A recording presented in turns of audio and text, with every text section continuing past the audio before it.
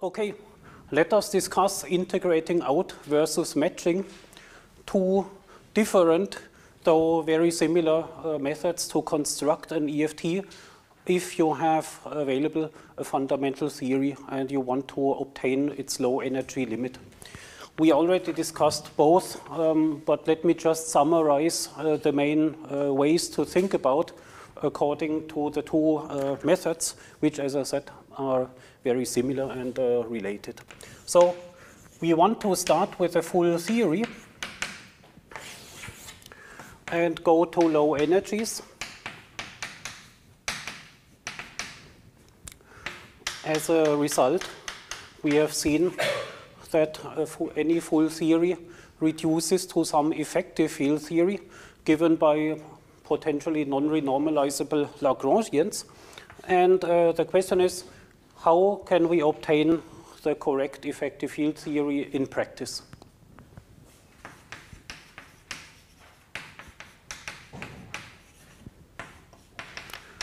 And uh, as the title suggests, there are two ways to do it, which mainly differ in uh, not so much in the technical details, but uh, maybe in the way to think about and also in the way how generally applicable they are. Let us discuss both briefly. Just write down the main principles, starting with integrating out. So by integrating out, I mean a procedure which really starts with the details of the fundamental theory and in a direct way constructs the ingredients of the EFT. And we have seen how that can work, for example, in the path integral. And the second way was using the method of regions or large mass expansion, which is for our purposes the same thing. Um, so in both cases, we can directly construct the EFT. Um, that means in detail we construct the EFT Lagrangian from diagrams in the full theory.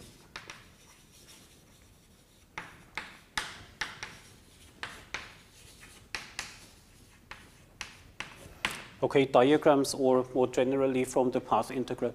So just to recap, you can take the path integral of the full theory, which is an integral over all field configurations of heavy and light modes.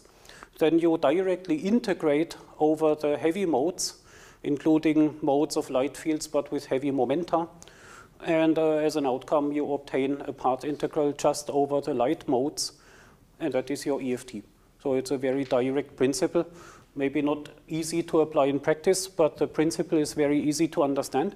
Similarly, using method of regions or large mass expansion, you take any diagram of the full theory, and in particular, uh, the large mass expansion algorithm directly produces Feynman rules, vertices, and Feynman diagrams of the EFT. So uh, therefore, you have a constructive recipe to construct the Lagrangian of the EFT. And of course, both of this also uh, provides the proof that the EFT exists in the first place. And um, even if you do not know how the EFT will should look like a priori, the outcome will automatically be the correct EFT. So just as an illustration, uh, I wanted to write down some one-loop diagrams. For example, we have looked at the photon self-energy in the exercise with a heavy particle in the loop, like for example the muon, and uh, we consider the muon to be heavy compared to the light electron and the photon at low energies. Then using the method of regions, this gives us that uh, the result can be Taylor expanded in the external momentum of the photon and uh, uh, there is no second term because uh, th this is the only subdiagram which appears in the large mass expansion, and the result of the Taylor expansion is directly a local vertex for an effective field theory.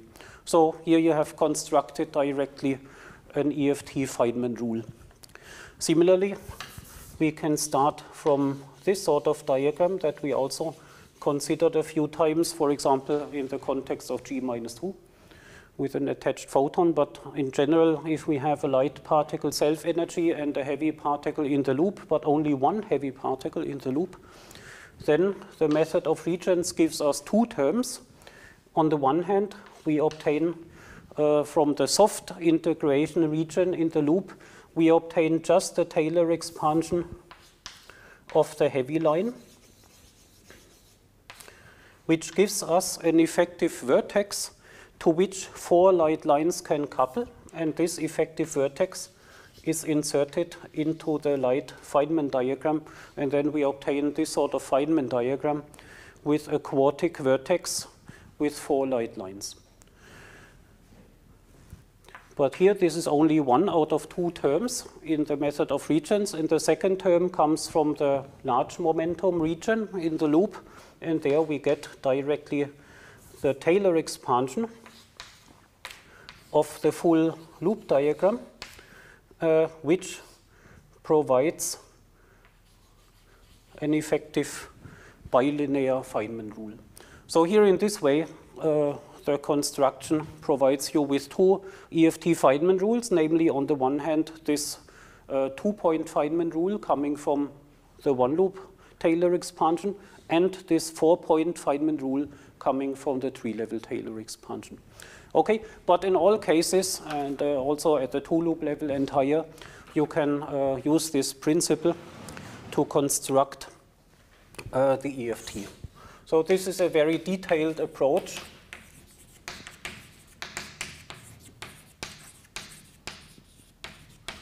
which automatically works. Now, let us compare with this the point of view of matching. So in the matching point of view, you start from the knowledge that the EFT exists. And that knowledge comes from this way of looking at it. But once we know that the EFT exists, we can use it right from the uh, beginning. So we use the knowledge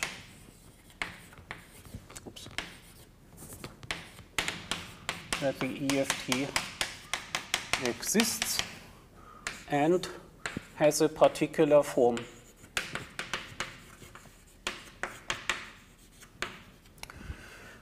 So which form does it have depends on the case we are looking at. But whenever you start with some fundamental theory and take the low energy limit, you will know that the EFT contains a particular set of field operators, a particular um, principle of power counting applies, and then you know the structure of the EFT Lagrangian. So certain light fields plus power counting rules. Okay, and uh, if we use this knowledge, we can write down an ansatz. That is the main new point. We do an ansatz for the most general form of the EFT Lagrangian and afterwards match it to the fundamental theory. That is the point. So the ansatz means that we write down an EFT ansatz, which is some appropriate Lagrangian with terms of dimension 4 or less, plus higher dimensional operators, Ci OI divided by m to the power ni. So this is just a generic way of writing down an EFT Lagrangian. And uh, the notation implies that here there are operators of dimension 5 or more. So all of these terms are suppressed by some um, non-vanishing powers of the heavy masses. And here there are dimensionless coefficients, and here these are operators constructed out of the light fields and their derivatives. And which operators appear and how they are suppressed uh, is the a priori knowledge from this power counting. So once you have this ansatz, the only unknowns are the values of these coefficients. And they are then determined by matching, and matching simply means you require that the physics described by this Lagrangian is the same as the one of the fundamental theory. So let us just write this down. You do a matching calculation and require the following.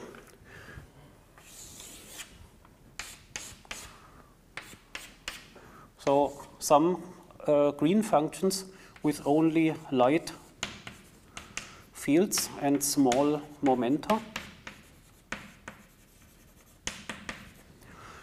Um, should become equal to the corresponding green functions in the full theory. Now, what is exactly the correspondence?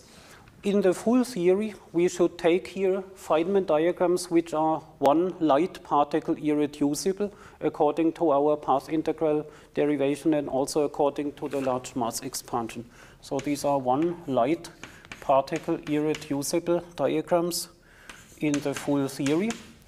And they can become equal to the one particle irreducible diagrams in the EFT. So in the EFT, there are only light particles. Therefore, here, one light particle irreducible is the same as one particle irreducible. But uh, this is the correspondence that we can achieve. And that it is possible to achieve it, um, we have seen from the large mass expansion. Okay, and uh, so this equality is of course not exact, but it is an equality in the sense of a Taylor expansion we can do these Taylor expansions to any order that we want. And at the order that we are working, we can obtain this equality, but then higher order terms will be different, higher order terms in the light masses and the small momenta up to desired order. corresponding to the power counting that uh, you have required uh, in the a priori ansatz.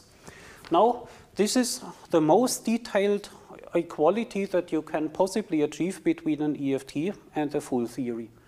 Sometimes, however, you are interested in less. And you do not want this most detailed agreement between the full theory and the EFT, and we have already seen examples of that. Do you know uh, what else we could require? A weaker equality, a weaker condition, where we do not require the equality between one light particle irreducible green functions. What else could become equal between the full theory and the EFT? S matrix elements.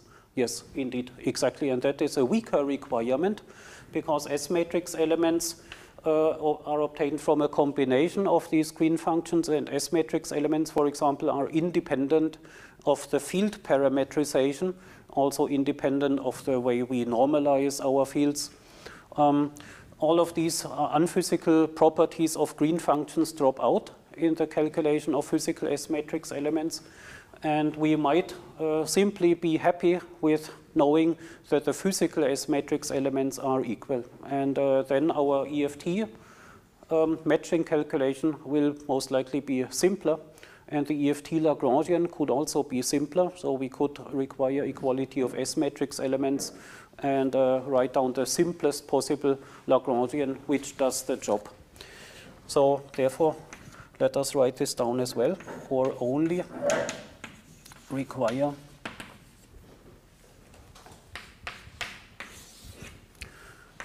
physical S matrix. Of course, again, only with light fields and small momenta in the full theory becomes equal to the physical S matrix in the EFT. Again, only for light fields and small momenta and only up to the desired order. Um, but uh, here, in this weaker requirement, we can use, for example, this redundancy that we have discussed. use field redefinitions in the EFT Lagrangian to simplify the Lagrangian because such field redefinitions do not change the S matrix. So here we can immediately use field redefinitions, etc., to simplify the Lagrangian of the EFT.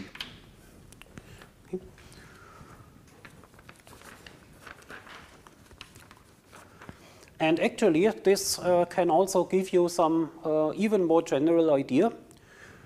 Namely, does it have to be uh, that the EFT contains the same field operators as the fundamental theory? So far, this was always automatic we have, for example, in the path integral integrated out heavy fields and uh, didn't integrate out the light fields. So the light fields of the full theory are automatically uh, fields which exist in the EFT. But does it have to be the case? No, it doesn't.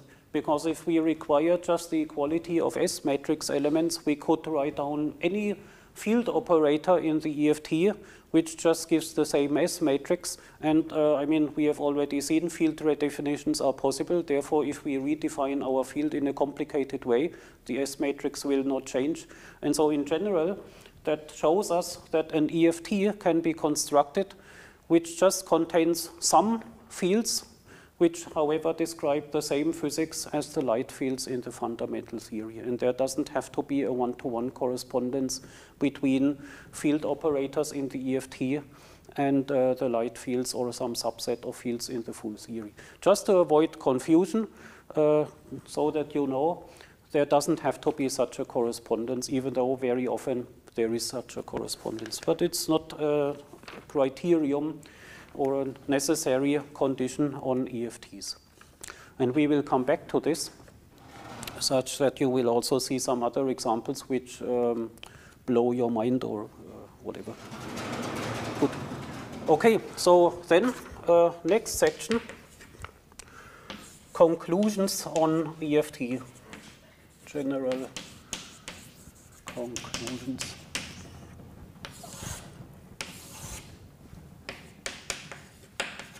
The first conclusion that I want to draw is uh, on EFT without fundamental theories.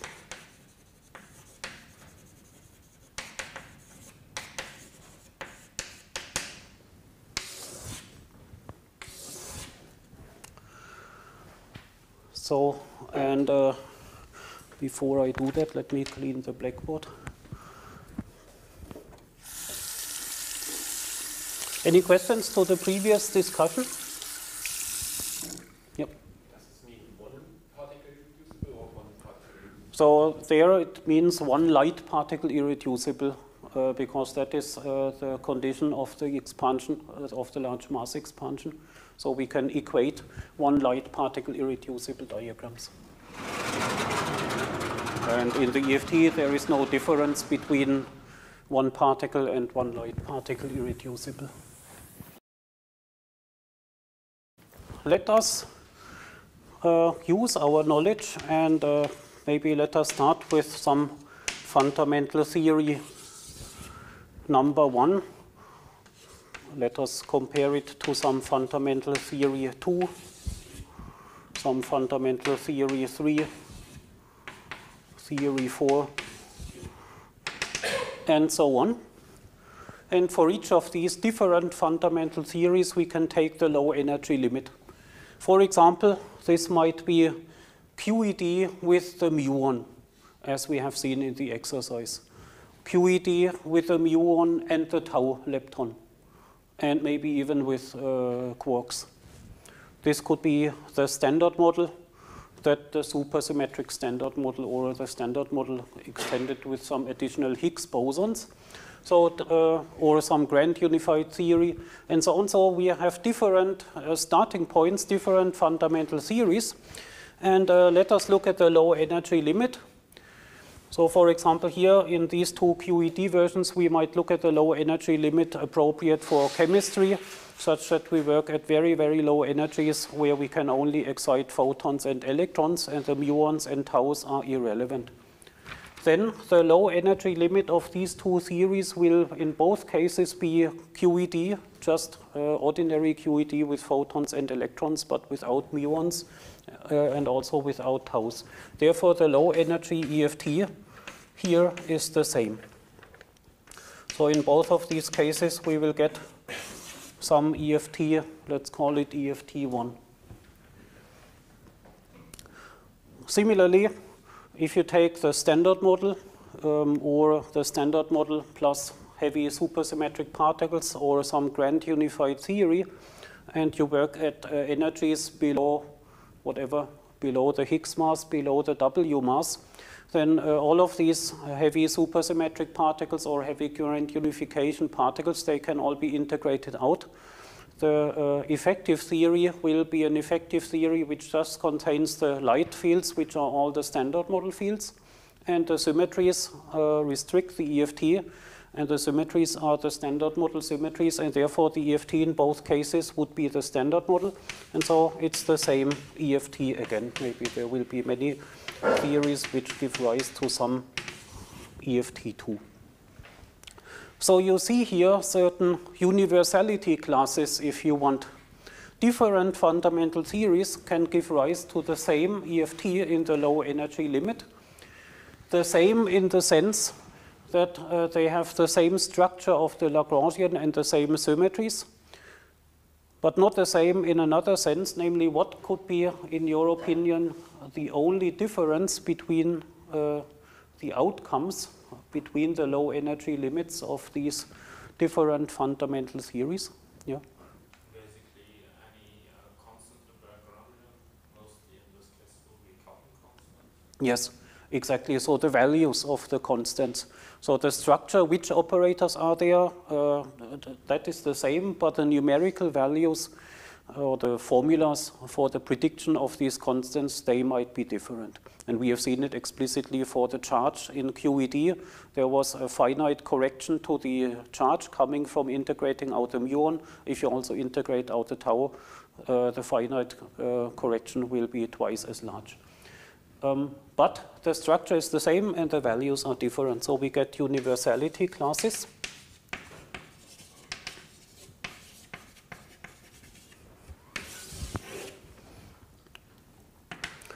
Several fundamental theories can lead to the same EFT. And uh, just to write this down, maybe different numerical values of these coefficients that we always call Ci. So which details of the fundamental theory then matter?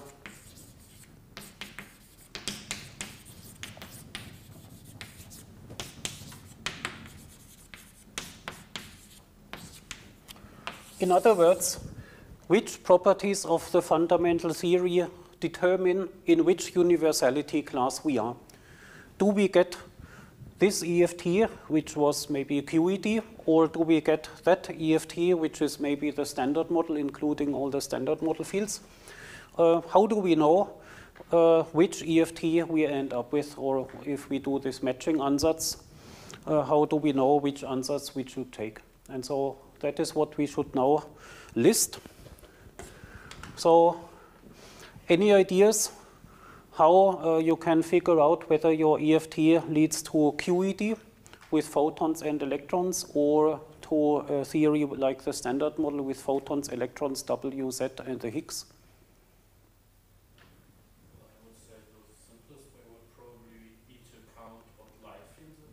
Exactly. So we first need to know which are the light fields. Or also which are the light particles, which should be described by light field operators. So you must know uh, which light particles your fundamental theory predicts, and they must be part of the EFT. And light means, of course, light. You have to define, first of all, what means light and heavy for you, and then you figure out what is the set of light particles. Then, another property is these power counting rules. What is exactly the ratio of quantities that you consider small? And uh, what is the Taylor expansion? Uh, in which variable do you expand and to what order do we go? And so this uh, can, can, be just summarized by saying which are the power counting rules. This is often fairly obvious, and so that was not a deep discussion so far, but in some theories it is actually a little bit tricky. And the final thing, we already alluded to it as well, is uh, which set of operators can actually appear in the um, EFT. Um, and uh, that depends on the symmetries of the EFT. And so you should, um, in the best uh, case, be aware of the low energy symmetry of your fundamental theory.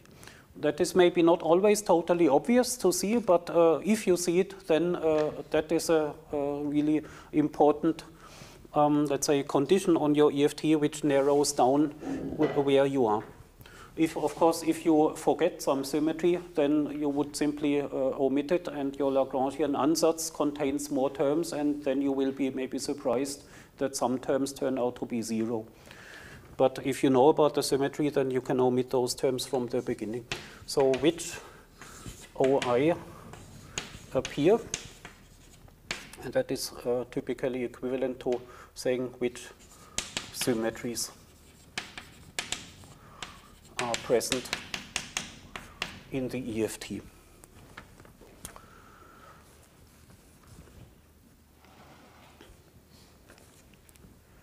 Okay, so this is basically the set of uh, the details that matter in order to obtain the structure of the EFT. And then uh, once you have the structure, then other details determine the numerical values of all the coefficients. And then you get, of course, different instances of one EFT or of another EFT. So, and now we can turn the whole thing around. You know that many, many different fundamental theories will give rise to one EFT or to another EFT, and that uh, means that you can simply consider the EFT and forget about where it came from looking at just one such EFT with a certain set of light fields and light symmetries um, is a substitute for discussing all possible fundamental theories which would lead to this particular EFT. And so you can uh, get rid of uh, the need to know what fundamental theory you are working with and simply look at the EFT and take it seriously. So let us write down this kind of point of view. So if the fundamental theory is unknown. You can simply start from some assumptions.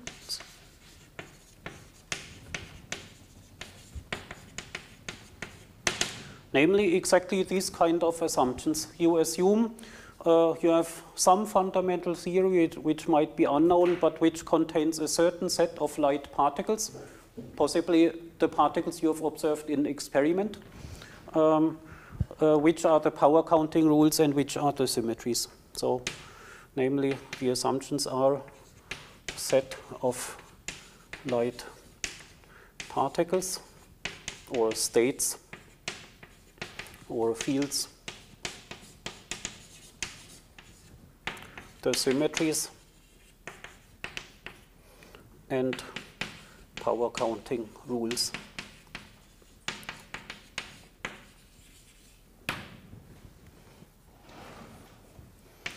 Then you do an ansatz of the most general EFT compatible with this.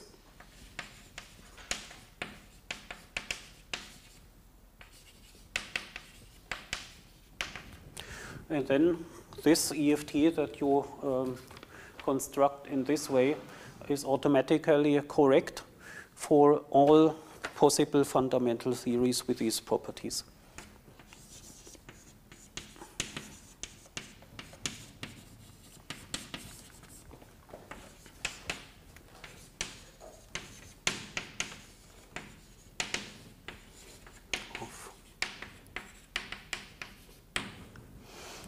This kind. And uh, so low energy observables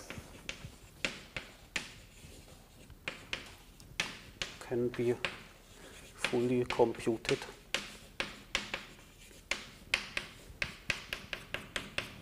in the EFT. You do not need to know the fundamental theory in order to do meaningful physics um, for low energies. Now, in this um, kind of point of view can be applied in several different directions. One important direction is really uh, the applicational one. Namely, if you are actually interested in computing something that you want to compare with experiment or you want to give the result of some physical quantity to somebody because you are genuinely interested in the outcome of some calculation, then uh, you can free yourself from uh, the need to start from a fundamental theory and do the calculation in the EFT. You know it is definitely correct and probably easier than a calculation in the fundamental theory. And then uh, you have here a very important tool. And that is obviously applied in, in practice. And you always apply it, um, maybe without knowing it.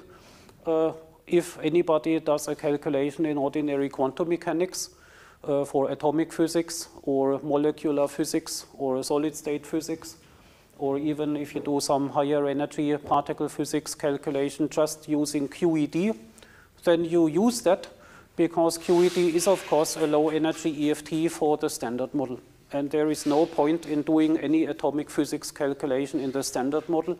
It would be uselessly complicated. QED is the correct EFT, and the calculation is simpler, and therefore you do it in QED. Unless, of course, you are maybe interested in the precise value of the impact of the Higgs boson onto the hydrogen levels. Okay, if you want to know that, then maybe for this particular purpose, you would go to the standard model and do the calculation there. But otherwise, uh, you do not need to know this. And actually, uh, seriously, if you really want to know what is the impact of the Higgs on hydrogen spectra, then the way to do it would be for sure to take the standard model and derive, in fact, QED as a low energy EFT for the standard model but in this case, plus higher dimensional operators in the way we saw it. So QED will be extended by dimension 5, 6, 7, 8 operators with coefficients which are predicted from the matching calculation. And then from this matching calculation, you have precise values for all these higher dimensional coefficients. And those values um, describe the impact of the Higgs on low energy physics. And then you do atomic physics from a Hamiltonian derived in this way using additional terms, uh, additional in comparison to the usual um, hydrogen um, Hamiltonian. Okay, and then you know uh, and have a simple way to calculate the impact of all the heavy standard model particles onto spectra. That is the way it is done. So this is one way of looking at it as a calculational tool which is really efficient.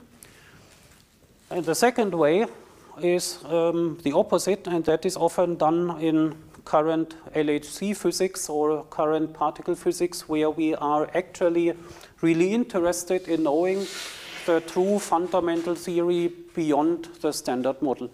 We uh, have reasons to suspect that the standard model is not the ultimate truth, it's not the most fundamental theory of nature, there is probably something beyond it, maybe grand unification, maybe supersymmetry, but we don't know. And uh, the standard model is most likely a correct effective field theory, a low energy effective field theory of something unknown, something fundamental. But then, of course, uh, in this case, we are not happy by just using the standard model as a calculational tool. We want to know what the fundamental theory is. And so uh, we can then extend the standard model by higher dimensional operators. and hopefully measure the values of the coefficients of these higher dimensional operators. And once we know such values, we could compare the measurements of these higher dimensional coefficients to distinct predictions of different fundamental theories, um, which would, as we discussed, give different values for the coefficients. So, and then the EFT point of view gives you insights which coefficients are maybe particularly strongly dependent on details of the fundamental theory. If you figure out some coefficients which are really uh, give different values for different fundamental theories, then these are the coefficients which you should measure first. Um, so, for example, in the other lecture in the last semester, I told you that uh, G minus 2 is such a coefficient. G minus 2 is the magnetic moment corresponding to the spin. This corresponds to an effective field theory operator whose value is uh, really determined from the details of the fundamental theory. Once you know or measure G minus 2 precisely enough, you um, know some details of the fundamental theory. However, um, the magnetic moment associated not with the spin but with the orbital angular momentum, the G factor corresponding to L instead of corresponding to S, that is not determined by the details of the fundamental theory, it is always the same. And um, so the EFT um, logic shows you that, and uh, then of course you shouldn't really do an experiment measuring g for the orbital angular momentum, but you should only measure g corresponding to the spin. So these are things you can learn from looking at the EFT, and um, uh, in this way uh, you have now some insight into EFT without fundamental theory. Okay, um, next point. A generalization of this one.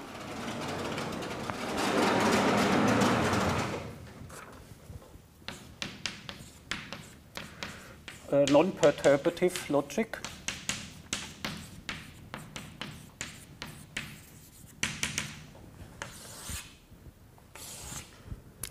So basically, I summarize here Weinberg's point of view, which he expresses in his quantum field theory book,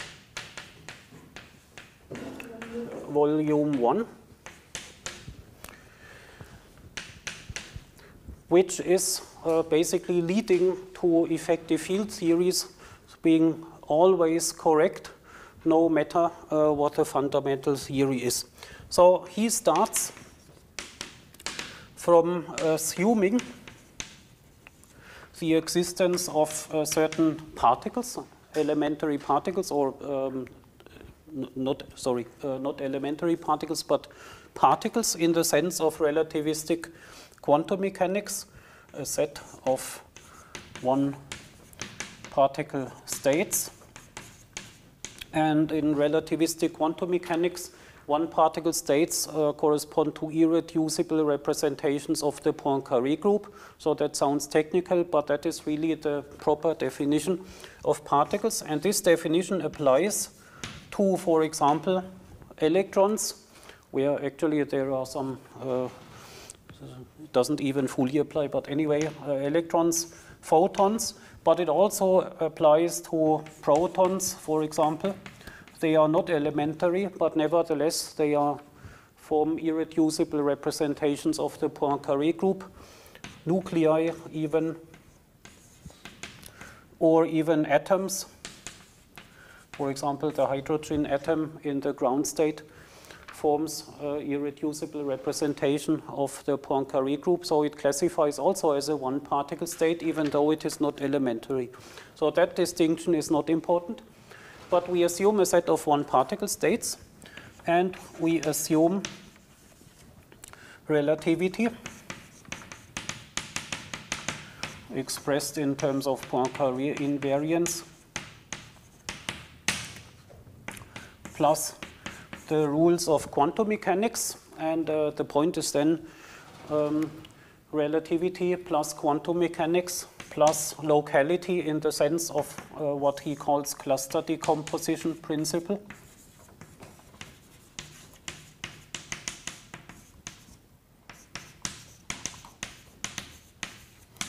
Which basically simply means that experiments on the Earth and on the Moon are independent. So if you have an S matrix for the combination of a process taking place here and somewhere else, uh, the S matrices factorize into a product of two S matrices which are independent. That is this cluster decomposition. And uh, under the combination of these three um, items, uh, the most general S matrix or the most general Hamiltonian for interactions of these one particle states is given by a local relativistic quantum field theory.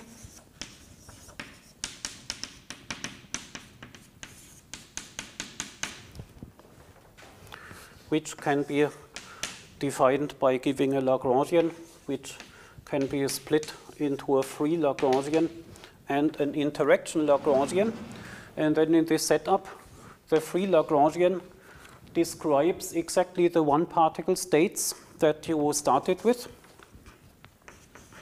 So this contains fields for the one particle states.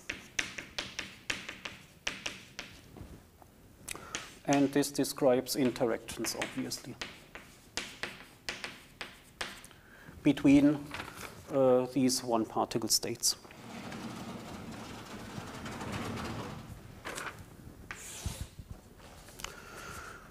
So, and if you see it, then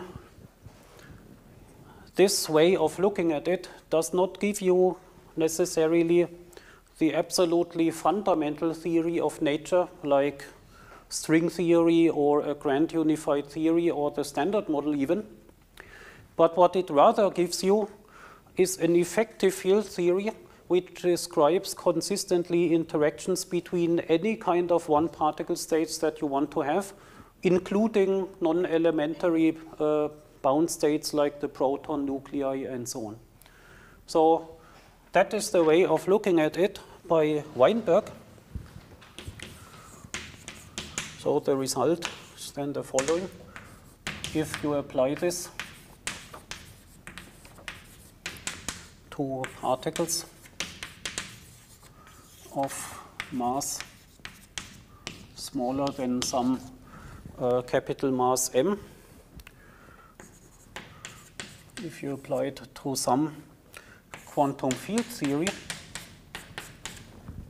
you know, then uh, independently of what the fundamental theory is, um, if you want to describe only the particles, including non-elementary ones, but uh, maybe or, or only elementary ones, depending on what you want, only light particles, then automatically there exists a quantum field theory according to the statement which describes precisely your chosen set of light particles and their interactions.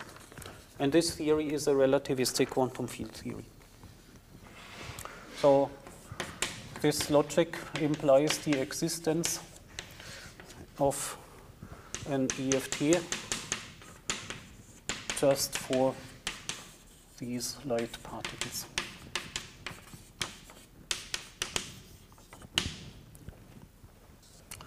So, and uh, that can even be applied if two bound states.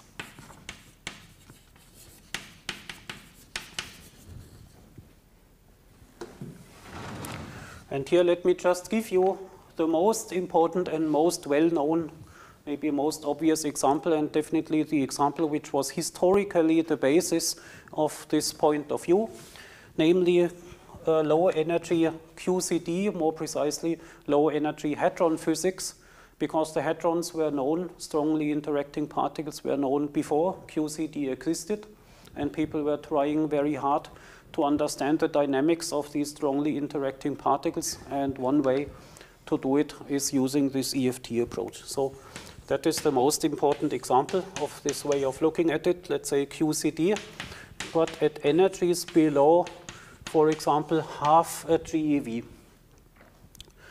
If you look at uh, strongly interacting particles, but below half a GeV, then which strongly interacting uh, uh, particles are there? The proton is too heavy, but uh, some other particles exist with masses uh, in that energy region. Does anybody know some particles? Yep. Pions. Anything else?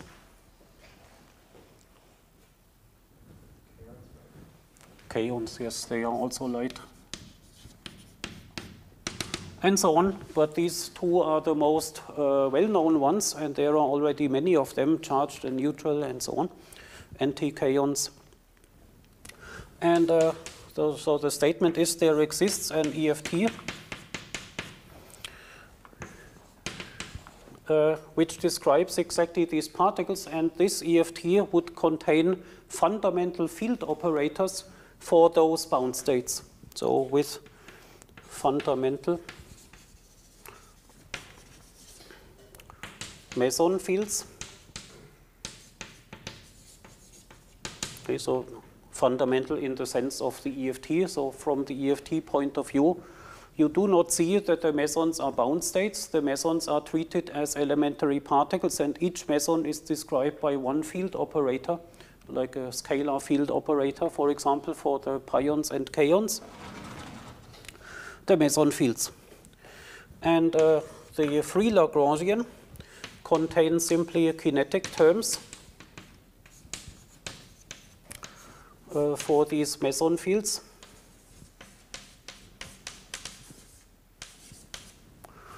And the interaction Lagrangian contains interactions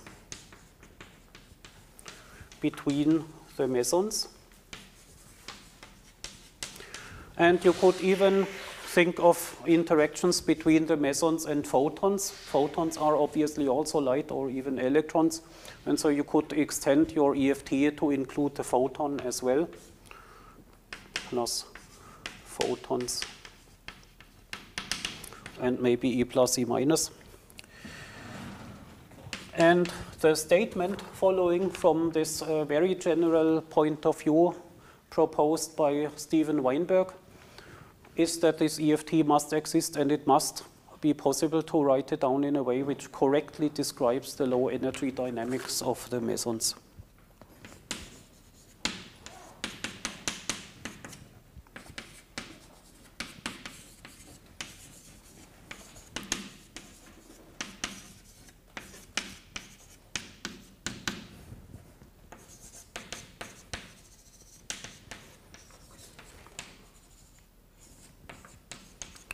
This theory is very well known and it has a name, chiral perturbation theory.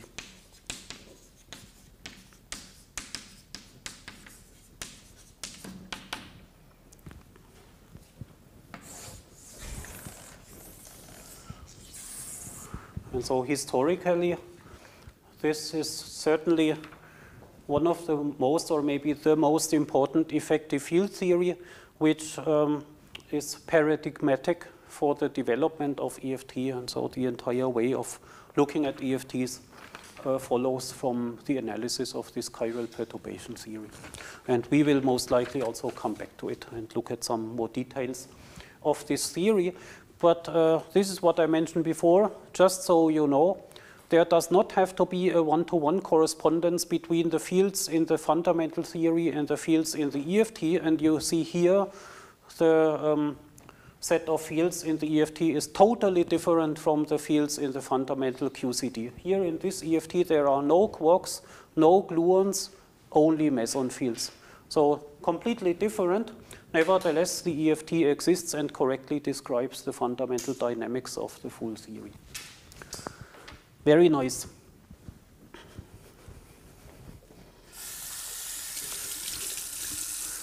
If you do not have questions, we will then change the topics and start with renormalization group. Good. Let me uh, nevertheless clean the blackboard. What is your question?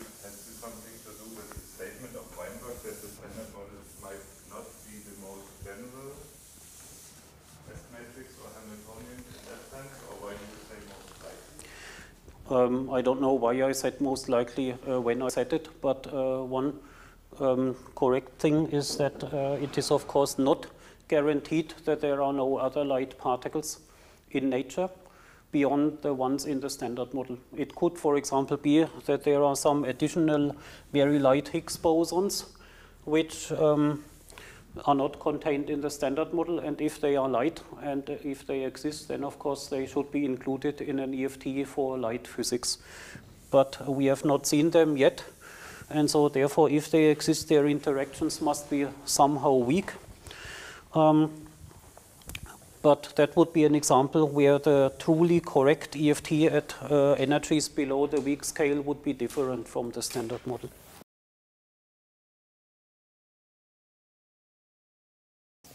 Let us come to the renormalization group. Uh, maybe you remember that the entire lecture is called effective field theory and the renormalization group.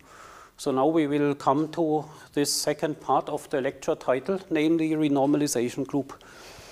And in order to motivate it and to relate it to the previous discussion, in the EFTs, we have now um, become able to discuss and analyze the low energy limit of some fundamental theory. So we work in an energy regime below the mass scale of some heavy particles. Like in the standard model, we have heavy WZ bosons and the Higgs, and we would look at the physics described by these particles at much lower energies. And uh, the EFT provides us a technical tool for that purpose. The renormalization group, in the way we will discuss it, does exactly the opposite. Namely, if you want to learn what is going on at heavy energies at, or at high energies, higher than the mass scales of the particles in your theory, then the renormalization group is the appropriate tool for that. And therefore, effective field theory and renormalization group complement each other, and you really need the combination of the two to analyze the full energy dependence in some uh, fundamental theory. So uh, from this point of view, it should be obvious that it is motivated to discuss the renormalization group, but also um, uh, the combination can be motivated uh, very well. So you see, in the fundamental theory, you have heavy particles and light particles, and uh, so if you are in between the heavy and the light scales, you um, have always, let's say, two um, big ratios in your physical problem. You have the ratio of your energy scale to the heavy masses and the ratio to the light masses and uh, both you cannot arrange that uh, both ratios become small at the same time. So, but if you integrate out the heavy particles, then you are left with only one ratio, and uh, that is um, the, the improvement coming from the EFT. But then in the EFT, suddenly your energy scale that you can consider is maybe higher than all the other fundamental mass scales in the EFT. And therefore, once you want to have calculational control in the EFT, uh, you work suddenly at high energies instead of low energies, and therefore, uh, after integrating out the heavy particles, you would uh, be able to use the renormalization group to further improve the precision in the EFT. So the logic of the combination of the two tools would be you want to have very precise control over some observable in a fundamental theory which has particles at all energy scales. You integrate out the heavy particles, then you use the renormalization group, and uh, in the combination you have full control about everything. Okay, so that is the idea, and that is why the renormalization group is not only complementary, but adds to the power of EFTs. Now, hopefully, we can write. So this is section 5, the renormalization group.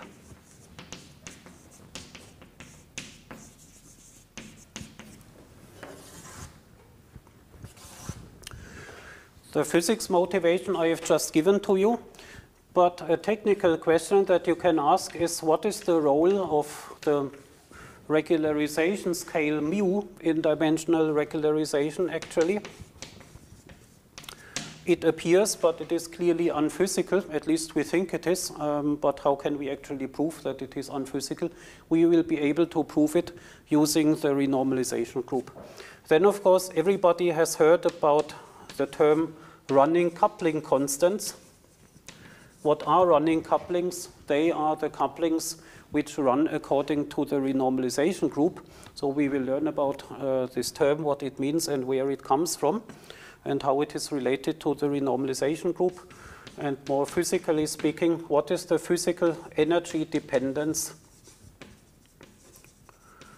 of any theory that we are actually interested in? So, and as I said, the renormalization group is particularly powerful if you work at energies which are much bigger than the fundamental mass in your theory. And in this sense, it is complementary.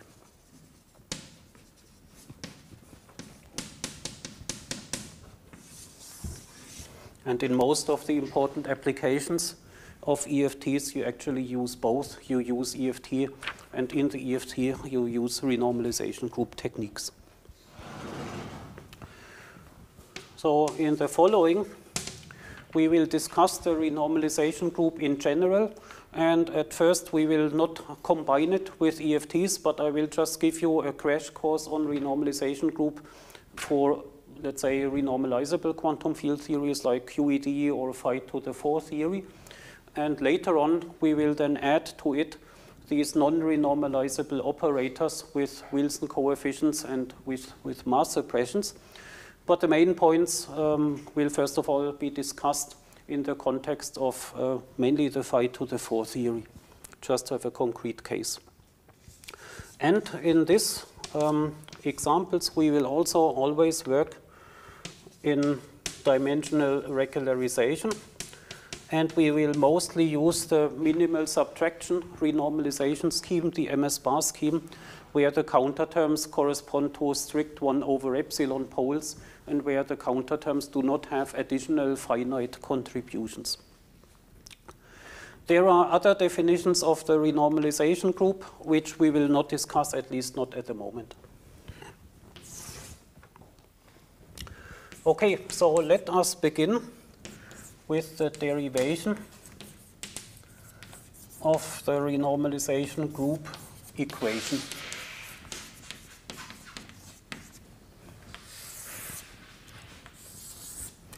And as the very first item in this derivation, we will immediately introduce running couplings.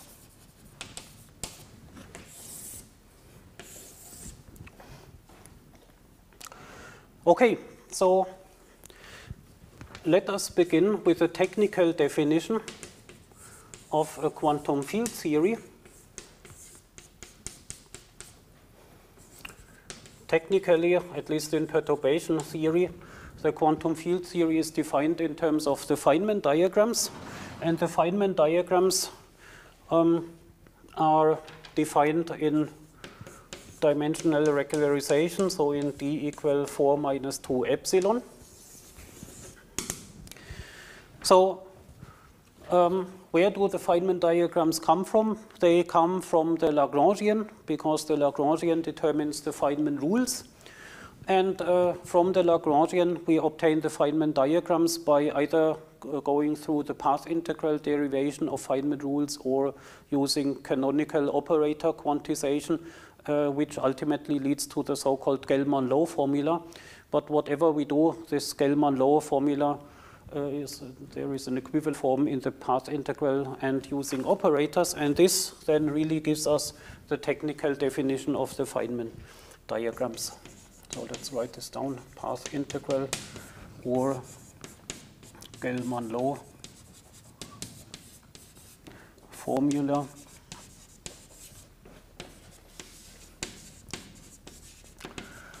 This uh, provides us with the Feynman rules, but uh, the Gell-Mann-Low for formula must be applied to an action or a Lagrangian, but more precisely to an action in the quantum field theory. And since we already take into account regularization and renormalization altogether, uh, the true full Feynman diagrams come from the bare action, which is the one which includes the counter terms. So ultimately, the full quantum field theory is really defined by the bare action, which I call S bare. And uh, this action in d dimensions is given by mu to the power d minus 4 times d-dimensional integral over x of a bare Lagrangian. And the bare Lagrangian can then be split into a renormalized Lagrangian or classical Lagrangian plus counter-term Lagrangian as we discussed before, but um, we do not write that down right now. This is the main point which defines all the Feynman diagrams in the theory. And now let us go to phi to the 4 theory, just to be able to write, write it down concretely. Uh, the choice of the theory doesn't really matter, but uh, I want to write down concrete formulas and uh, you can generalize yourself. So for example, the analysis that we will do now should be repeated and the first exercise for QED. So you can do exactly literally all the steps we do now for QED as well. So the bare action in phi to the 4 theory is 1 half times the derivative of the bare field squared minus bare mass square divided by 2 times the bare field square minus bare coupling G bare divided by 4 factorial times the bare field to the fourth power. This is the bare Lagrangian for phi to the fourth theory. And then the bare quantities are defined as follows. So the bare field is given by a square root of capital Z times the renormalized field. Uh, the bare mass square is given by the renormalized mass square plus delta m square. And the bare coupling is given by the renormalized coupling plus delta g. And then these are called renormalized quantities. These are the so-called renormalization constants, which, for example, absorb divergences. And in the MS bar scheme, those renormalization constants are purely given by 1 over epsilon poles. And in other schemes, they might also contain finite parts. And we already discussed that the physics of the theory depends only on the values of the bare quantities and not on how you split them into renormalized plus renormalization constant. Because ultimately all the diagrams just depend on the bare Lagrangian. Okay? So now the next important point is, and maybe I will do that here,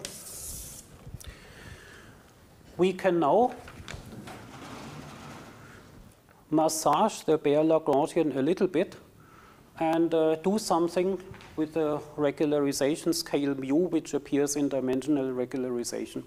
Let's first um, make sure that you all agree that I can write down um, mu to the d minus 4 here at this place. Probably we didn't do it before. But the way the mu has appeared so far was always that each loop integral in d dimensions is multiplied with mu to the 4 minus d, the opposite factor. And uh, now I write it into the action. And the point is, if I write it into the action like this, then it is an automatic consequence of just deriving the Feynman rules in the normal way that each momentum space loop integral is accompanied by the factor mu to the 4 minus d. So therefore, if I say that the standard derivation of Gell-Mann Low formula and Feynman rules and so on uh, follows from this action, then this action will, among other things, automatically also produce the mu to the 4 minus d in front of every loop integral. That is the point. And so that is why this statement is literally correct, including d-dimensional loop integrations and including the mu to the 4 minus d in front of the loop integrations.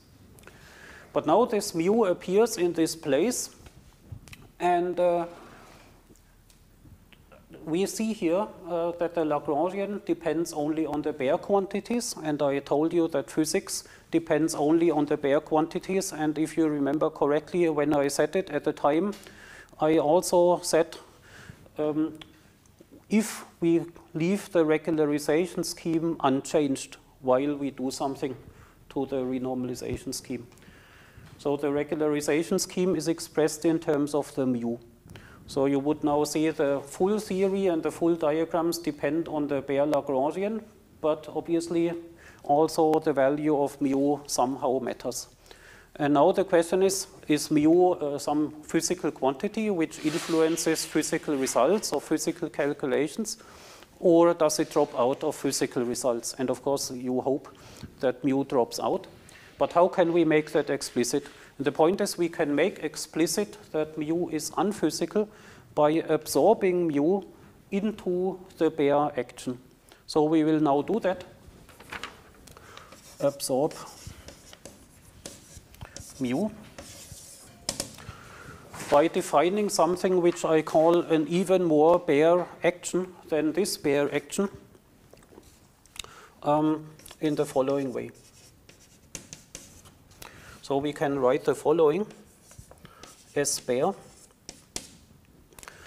is just a d-dimensional integral over x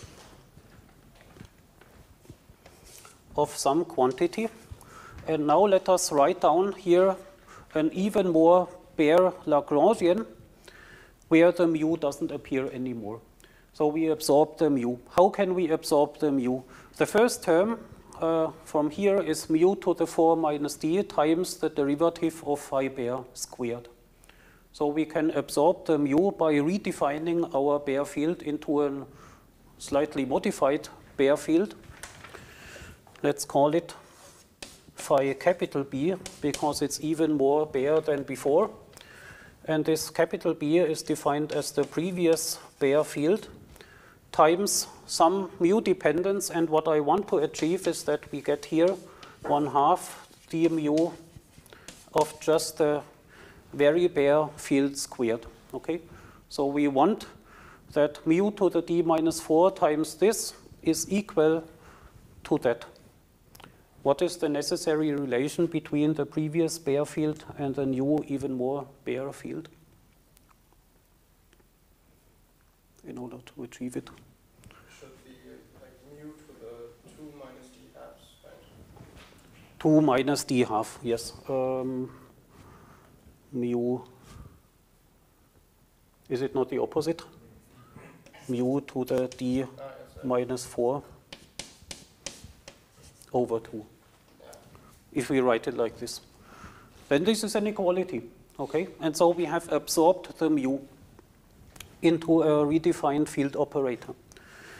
Then our second term here was um, mass square, so let's define an even more bare mass term and uh, such that the second term looks like this. So previously we had mu to the d minus 4 times phi bare square times the bare mass square. Now we want that the term becomes this one. In order to achieve it, what must be the definition of this even more bare mass? The same as the before bare mass. It's the same.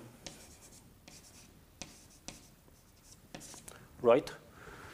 And uh, because the phi square absorbs the same mu coefficient as here, and so therefore the mass is unchanged.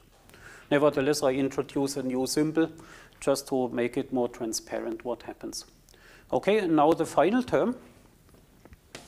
Let's say we want that the final term looks like this. G very bare times the very bare field to the fourth power. Previously, we had mu to the d minus 4 times g bare and phi bare to the fourth. Um, now, is the g bare also unchanged? Or is there some change between the previous coupling and the modified, even more bare coupling constant? Yes? Now it gets effectively to the 4 minus d. So now it's mu to the 4 minus d. Because then uh, here we have two additional powers of the phi bare, and uh, these two additional powers bring in mu to the d minus 4, and that is compensated in this way. And so that is your task to do exactly the same for QED, okay, where we have the photon field and the electron field and a mass term for the electron and gauge coupling between the two. Go through the same procedure and then you will find an even more bare electron and photon field mass term and gauge coupling. And uh, you will get similar factors, but not the same ones. They differ slightly. So, but now we have absorbed the mu in terms of these new quantities. And so now we discover that our full theory is described by this bare action, which is, however, the same as that bare action. And uh, this bare action depends on one field operator, one mass term, and one coupling constant. And so we can clearly conclude that physical results can only depend on these three quantities. Actually, the field operator is not physical as well, so the physical results can only depend on these two quantities and on nothing else. That is the conclusion. And so we see that the theory has two physical parameters, namely a mass and a coupling parameter, and there is not a third physical quantity mu which would independently influence physical results because it can be absorbed. So that is the outcome of this analysis. It's a very important analysis.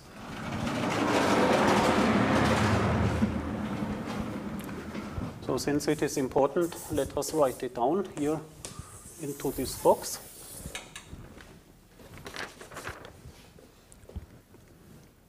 So the full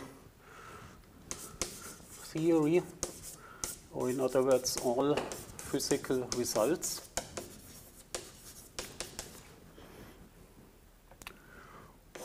And also green functions.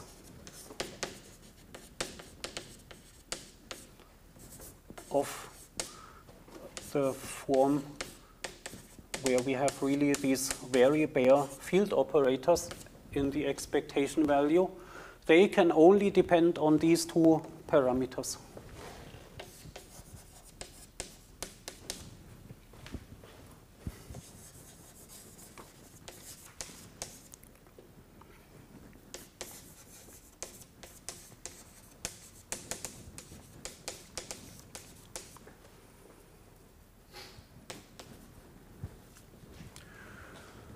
That is an important outcome. And by the way, uh, previously we discussed renormalization schemes at one point, where we said that if the regularization is unchanged, which means mu is unchanged, then it doesn't matter how we split um, these bare quantities into renormalized plus renormalization constants. That is included in this statement, but this statement is more general because we can simultaneously even change mu and uh, change basically, for example, here we change mu and change the bare quantity and maybe also change the split into renormalized plus renormalization constant. But as long as the combination of everything stays the same, physics is unchanged. So let me write this down as well. So this includes the statement that was in section 233 on changing renormalization schemes.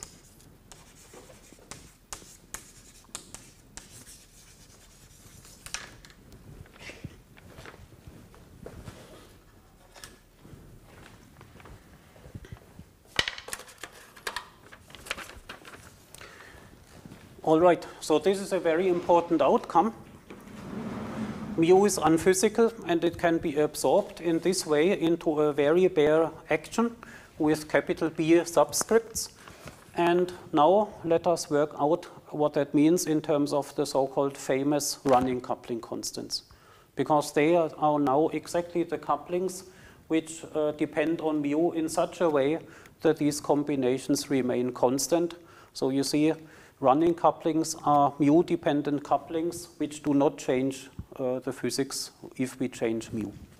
That is the point. So let's make this explicit. Running couplings. And similar quantities, we will see what that is. So let G of mu and m square of mu be such that the following holds, namely the bare quantities remain constant, so d by d mu of g capital bare is zero. Okay? So that means exactly what I said before. G bare is a combination of mu, the renormalized coupling, and the renormalization constant. And the whole thing should be mu independent if we put in this mu dependent coupling constant. So let's make it more explicit. d by d mu of mu to maybe let's make it explicit. This is mu to the minus epsilon. Uh, is it? Ah, uh, here, okay, I was looking at the wrong thing. 2 epsilon times g of mu plus delta g. And what is delta g actually? Delta g is of course a renormalization constant which is calculated at one loop order, two loop order and so on. It's a perturbative expression. So it is a power series in the renormalized coupling. So let's maybe write this here like this. This is a power series in G of mu. So therefore, you have here G of mu explicit. Here, G of mu appears with some higher powers and with one loop coefficients and so on. And here you have explicitly mu, and the whole thing should be mu independent. And that equation implicitly defines the mu dependence of your running coupling. And by the way, um, in the MS bar scheme, um, we know more about this delta G. So it is always a power series in the renormalized coupling, but in the MS bar scheme, it is also strictly um, power series times 1 over epsilon coefficients. And that in particular means that here there is no explicit mu dependence. Mu enters only via G of mu, but it doesn't enter explicitly. No explicit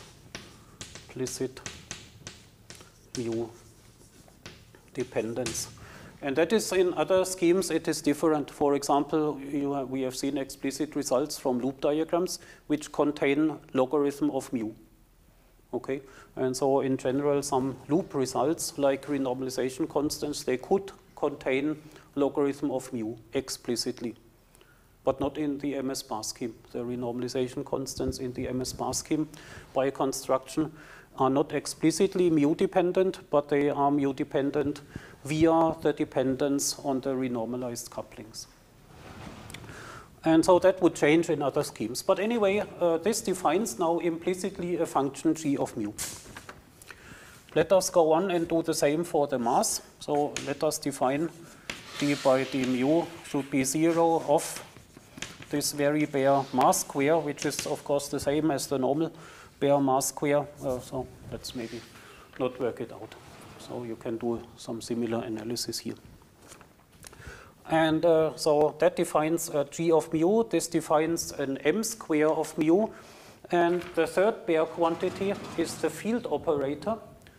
So there is no parameter associated with the field, but we can study the normalization of the field which is now somehow mu dependent. So the overall normalization of the renormalized field depends on the square root of z and on this additional mu square factor. And so let us define the following. So and define the following object. Let's call it square root of small z of mu. So this is a small z, the other one is a capital Z. And uh, let's define it such as the combination of this prefactor. This is now mu to the minus epsilon times square root of the capital Z. And the capital Z is, of course, again, a power series in the coupling because capital Z is calculated at one loop, two loop order. And again, in the MS bar scheme, so it depends on powers of g of mu, and it does not contain explicitly ln mu. Oh, but in the MS bar scheme, it is just a function of g of mu. Okay, and then we define a mu-dependent function, square root z of mu, in this way. And uh, it has an explicit mu dependence and an implicit mu dependence via the running coupling. And this is a mu dependent normalization factor for the field operator. Okay, then, well, okay, so not so much time, but I think that is maybe just enough. So just as a picture,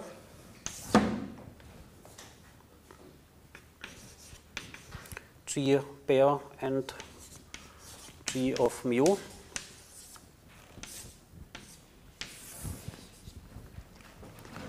So let's look at a diagram. And typically, we plot it as a function of the logarithm of mu, since, as you already know, ln mu is the one, the combination which typically appears. So it is natural to plot things as a function of ln mu. Let's plot the coupling constant g of mu as a function of ln mu for constant gb. So we get some trajectory. So maybe in some color. So we would get some trajectory.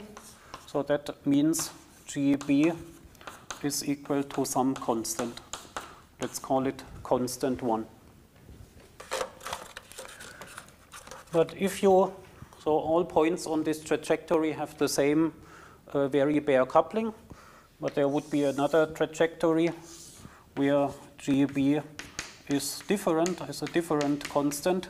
But again, all points on the green tra trajectory uh, again have the same uh, value of the bare coupling constant, and so it goes on. So you get many trajectories, and on each tra trajectory, the very bare coupling is constant. That means on each trajectory, the physics is unchanged. So you can change mu and simultaneously change the coupling in this way, and then the physics will remain the same. So along these trajectories. Physics is unchanged.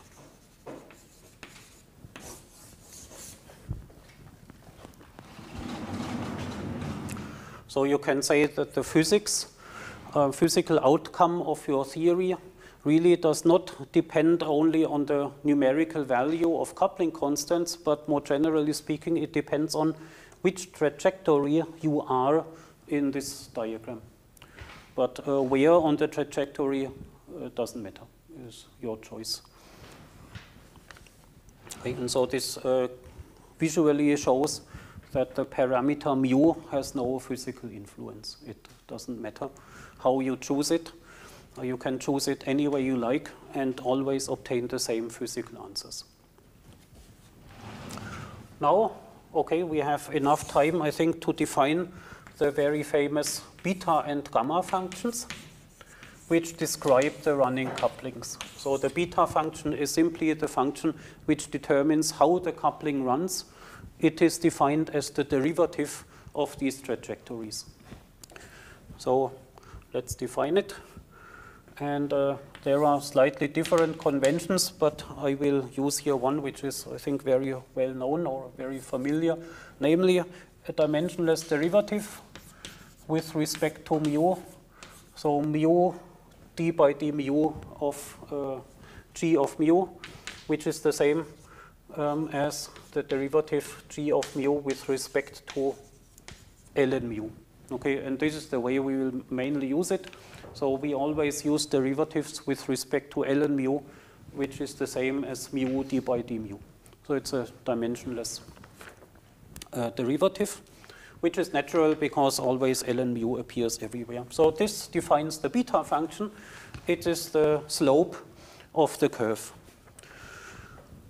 And similarly, we can define what is called gamma function or anomalous dimension for the mass gamma m square is exactly the same, um, but for the mass, namely um, dimensionless 1 over m square of mu times d of m square of mu divided by ln mu.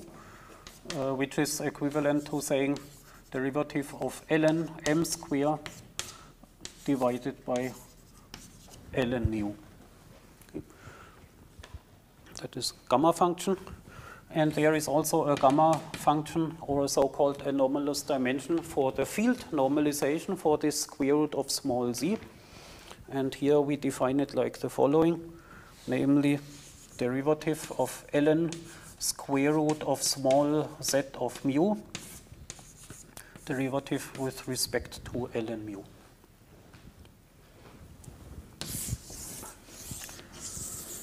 These are three simple definitions which uh, give you the slope of these trajectories and if you walk along the trajectories defined by these slopes then the physics is unchanged. So um, the next step would be to calculate the beta functions and uh, how can we calculate the beta functions?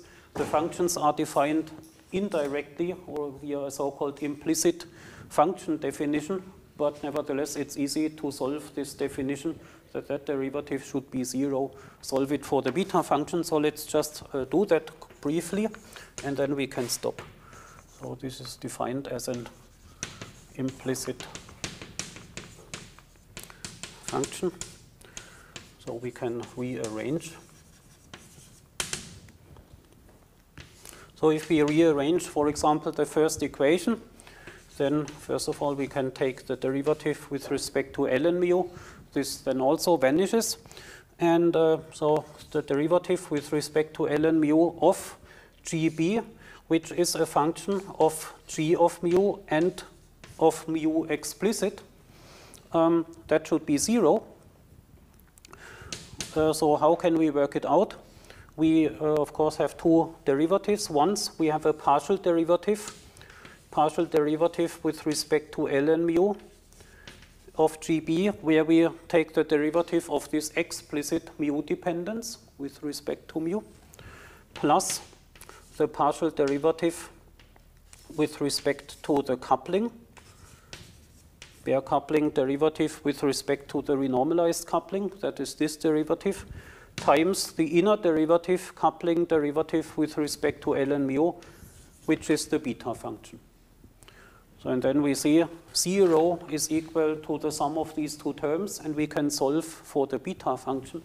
And then we have an explicit formula for beta, namely beta is given by minus the ratio of the two partial derivatives minus uh, bare coupling derivative with respect to the coupling G divided by bare coupling derivative with respect to ln mu. So, and then once you work out these two derivatives, you can calculate the beta function. And of course, you can do it similarly for these gammas. And uh, then you have a calculational recipe for the beta function. All right, and here we can stop. This provides uh, your first intuition on the renormalization group.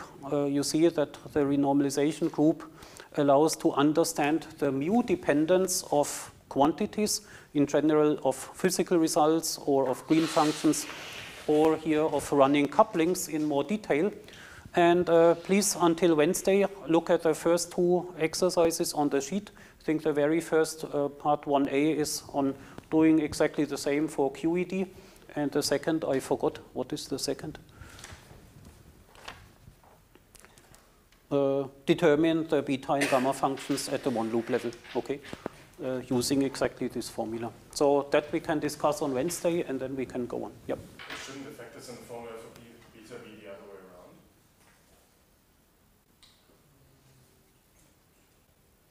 around? Ah, I think you are right. ln mu and g. Sorry about that. Yes, of course. That's true. Very good. Yes. All right, then see you on Wednesday.